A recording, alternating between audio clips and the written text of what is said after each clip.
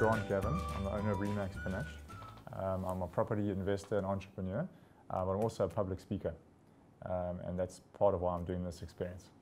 Well, today's got a couple of objectives. Um, I think the first one is just to test people's reaction to giving based on the communication that the person standing at the traffic light gives to the person in the car. And the idea is trying to take the message and change it from the standard traffic light, homeless man sign, all about me, me, I need, I need, and we're turning it around slightly. And we're now talking directly to the person in the car.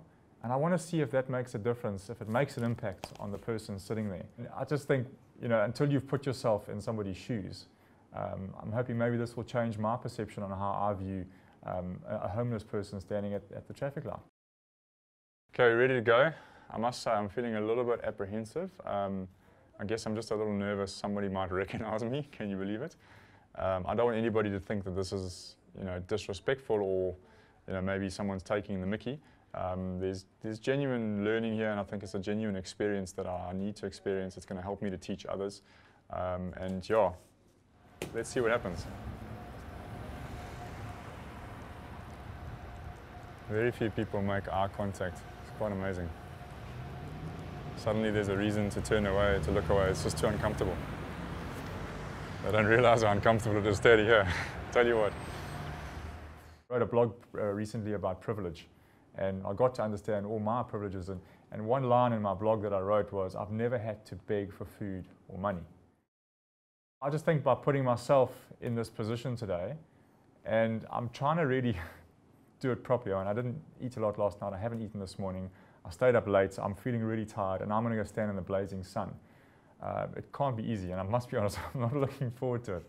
But I know I'm going to learn a lot from this experience, and I hope to share that with others as well. I've made friends with the homeless guys that are in the area, and I've told them that anything that I make today, uh, if it's successful, I'm going to give the money to them. It's, it's putting yourself in somebody else's shoes and, and walking a couple of miles in those shoes before you cast any sort of judgment. I mean, you don't know why that person is standing at that traffic light, but we so easily judge when we drive past. And maybe after today, you know, I'll just appreciate all those things in my life a lot better.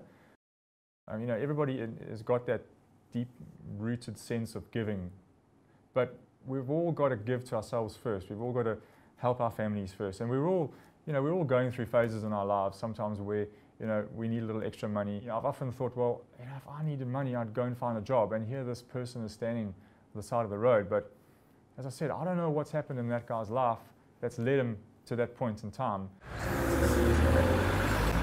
I'm very, very hungry. I'm actually shaking a bit because I haven't had breakfast. And um, yeah, I needed this water badly. But um, I'm glad I did it. I don't think it's anything to do with the money and how much you collected. It's more people's reactions to you, how you feel as well doing it. Um, and also, when I started to get a little bit more confident the fact that I was there, I started making eye contact more with people. I think at the beginning I was avoiding eye contact. At the beginning I was very uncomfortable, and especially if it was somebody I knew, I was almost like, I didn't want them to know it was me, you know? Um, but a very, a very good exercise.